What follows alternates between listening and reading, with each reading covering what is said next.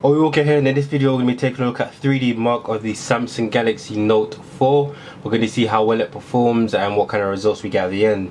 So first off we're going to run Ice Storm Unlimited test and see what kind of results we get. So we're just going to let this run through the test and and before running this application I did close out all other running applications so yeah, enjoy the test.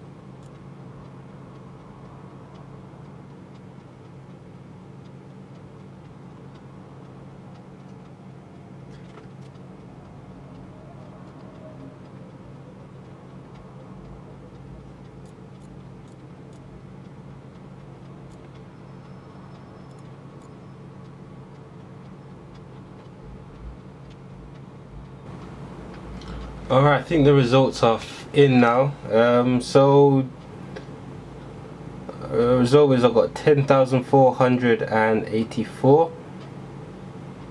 One, you can see that's my overall score. Graphics score was 10,461. Physics score was 10,565.